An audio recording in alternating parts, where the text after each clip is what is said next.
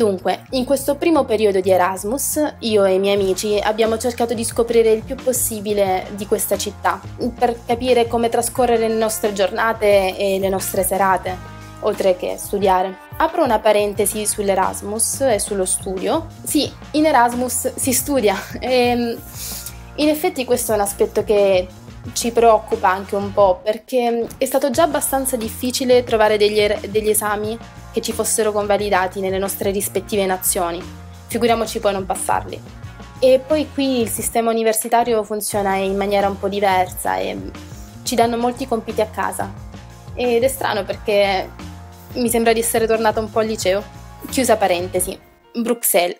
Secondo me è una città bellissima, e io consiglio di visitarla anche soltanto per un fine settimana perché non è molto grande, quindi mm, non è molto difficile uh, vedere le cose più importanti che si trovano tutte più o meno nei pressi del centro città.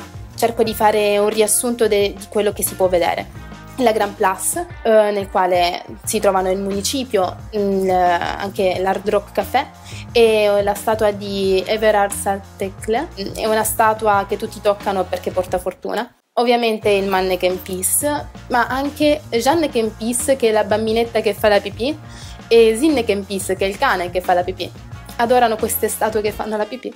È possibile fare la comic trip eh, cioè eh, nelle strade di Bruxelles è possibile trovare dei palazzi eh, con le facciate dipinte con eh, fumetti. Sono in tutto 28 tappe, se si ha poco tempo meglio non farla perché fare la comic trip dura due ore e mezza circa. Se si fa attenzione è possibile insomma notare questi scorci un po' particolari. E, ehm, le gallerie Saint-Humbert eh, che è una galleria di negozi ed è famosa per i negozi di cioccolata come Godiva e Leonidas. Uh, c'è la cattedrale uh, di Saint-Michel e Godul, che sono i due santi protettori di, di Bruxelles, e il Delirium Pub, è un, uh, è un pub nel quale vengono offerte più di 3.000 birre diverse.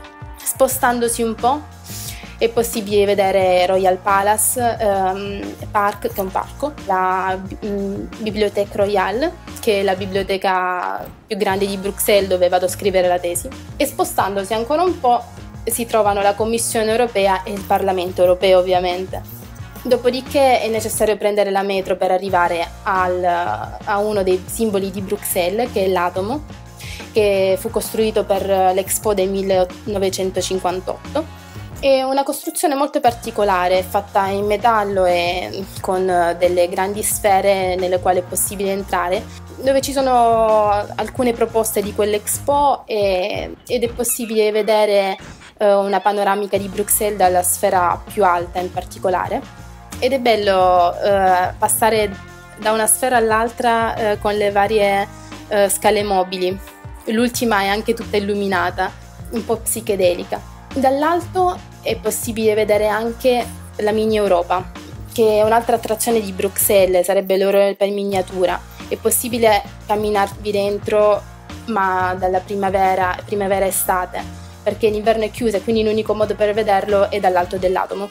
Detto ciò, le serate. Oltre che andare a bere la birra al Delirium Pub, in genere uh, sì, ci sono le feste Erasmus, ma non sono solo quelle, insomma, sono organizzate tanti tipi di feste diverse. Si beve, ma mh, mm, si beve anche tanto se vuoi bere, non sei costretto a bere. Ci si diverte e si socializza tantissimo, uh, soprattutto nelle feste private, quelle in casa perché sì, eh, si va nei club, ci sono tantissimi tipi di club diversi a Bruxelles. Siamo finiti anche in un club latinoamericano perché il ragazzo lituano è un campione di samba al Cartagena. E poi siamo finiti in un uh, gay club. Ce ne siamo accorti quando abbiamo visto che i camerieri erano alti due metri e vestiti da cheerleader. Però come dicevo mi piacciono molto le, le feste in casa perché mh, mm, spesso è possibile trovare tantissimi studenti. Sono andata in un residence che era solo abitato da studenti e mh, mm, si parla di tutto, eh, da argomenti più frivoli come mm, il brindisi nelle diverse lingue o diversi giochi con l'alcol ad argomenti serissimi come la disoccupazione, le problematiche del proprio stato, della propria nazione d'origine, il macello che sta succedendo in Ucraina. Si parla veramente di tutto, anche di problemi esistenziali o di come ci sentiamo qui eh, in Erasmus, eh, fuori, lontano da casa, dalla patria, insomma. E, mm, ed è interessante vedere come veramente la pensano le altre persone, di nazionalità diverse. Apre la mente. Piano piano questa realtà sta diventando anche la mia realtà. Insomma, tutto mi è molto più familiare, mentre all'inizio di questa esperienza mi sentivo un po' fuori luogo. E comunque vedremo un po' l'evolversi di questa, di questa esperienza. Per il momento è tutto. Ciao!